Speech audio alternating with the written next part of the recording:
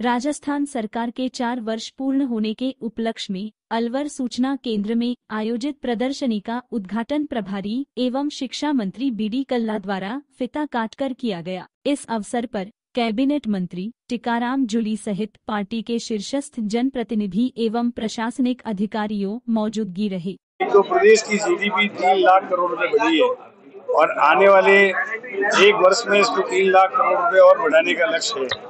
इसके साथ साथ प्रति व्यक्ति आय जो है, देश की औसत दर से ज़्यादा बढ़ी है।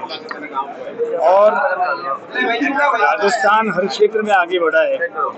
मुख्यमंत्री चिरंजीवी योजना के अंतर्गत 10 लाख तक का इलाज मुफ़्त, पाँच लाख तक का उनका बीमा और इसके साथ साथ दवाई मुफ़्त, जांचें मुफ़्त। और जो बहुत ही असाध्य रोग हैं जैसे किडनी ट्रांसप्लांट, हार्ट ट्रांसप्लांट, और इसी प्रकार से कैंसर जैसे भयंकर रोग हैं। इनके इलाज के लिए भी राज्य सरकार, मुख्यमंत्री चिरंजीवी योजना में उनके इलाज की मुफ़्त व्यवस्था करेगी। इसके अतिरिक्त इंग्लिश मीडियम के जो स्कूल खोले गए हैं, उससे आम आदमी का बच्चा शहरों में और गाँवों में इंग्लिश मीडियम के स्कूलों में पढ़कर और अपने फ़ीस की बचत की गई है। इसके अलावा जो किसान सरस डेयरी को, गवर्नमेंट की डेयरी को, सरकारी डेयरीज को जो दूध देता है तो उसको पाँच रुपये प्रति लीटर का अनुदान। गेहूँ यदि कोई सरकार को सरकारी खरीद में तोलता है तो सौ रुपये क्विंटल की सब्सिडी, एक रुपये किलो में गरीबों को गेहूँ। और इसी प्रकार अन्य अनेक योजनाएँ जिसमें खास तौर से किसान को कृषि बिल में एक हज़ार रुपए की प्रति माह छूट आम आदमी को पचास यूनिट तक बिजली फ्री, उसके बाद डेढ़ सौ यूनिट तक जो है तीन रुपए यूनिट की छूट, तीन सौ यूनिट तक दो रुपये यूनिट की छूट। ये जो चीज़ें दी गई है, इससे आम आदमी लाभान्वित हुआ है। देखिए, प्याज का जो खरीद मूल्य है, वो केंद्र सरकार तय करती है। केंद्र सरकार को चाहिए कि वो इसकी सरकारी खरीद करे।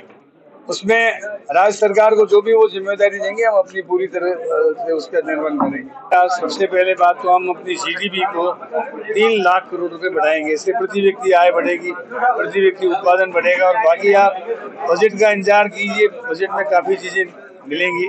अभी माननीय मुख्यमंत्री जी अलवर की आम सभा में घोषणा करके गए हैं कि केंद्र की सरकार ने जो रसोई गैस पहले कांग्रेस के राज में चार सौ रुपये में मिलती थी, आज वो एक हज़ार चालीस रुपये में मिल रही है। उसकी कीमत गरीबों को वो पाँच सौ रुपये में गैस का सिलेंडर उपलब्ध कराएँगे, उसकी सब्सिडी देंगे। चार वर्षों में अलवर ज़िले के अंदर ऐतिहासिक विकास कार्य हुए हैं। सबसे महत्वपूर्ण मैं बात करूँ मेडिकल कॉलेज यहाँ पे स्वीकृत हुआ है उसका काम चल रहा है।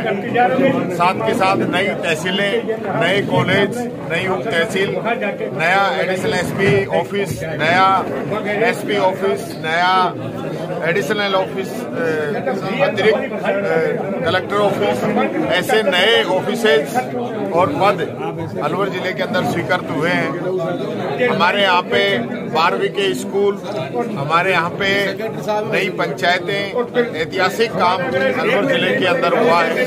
हाईवेज का काम बहुत अच्छा अलवर के अंदर हुआ है। जो सड़कें हमारी पहले खराब थी, वो काफ़ी नई सड़कें इन चार वर्षों में बनी है। और सरकार का जो चार साल का काम रहा है, बहुत ही ऐतिहासिक रहा है। और मिनी सचिवालय जो बन के तैयार हो गए पिछली हमारी गवर्नमेंट में शुरू हुआ था, लेकिन भारतीय जनता पार्टी की सरकार ने इसको पाँच साल रोके रखा और वापस हमारी सरकार आने के बाद में इसका काम पूरा हुआ है और बहुत ही जल्दी इसकी सौगात यहाँ की अलवर की जनता को मिलेगी।